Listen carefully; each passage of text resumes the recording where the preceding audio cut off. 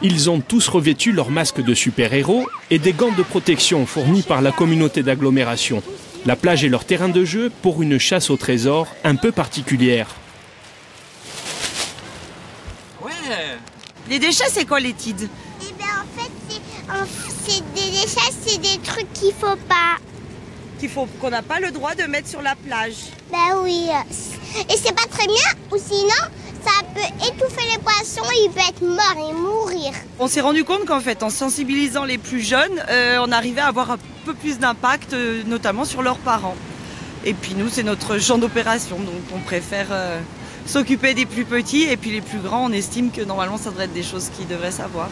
Une nouvelle génération à qui l'on parle régulièrement de respect de l'environnement. Le plastique, fléau de la Méditerranée, mais aussi le très mystérieux réchauffement climatique.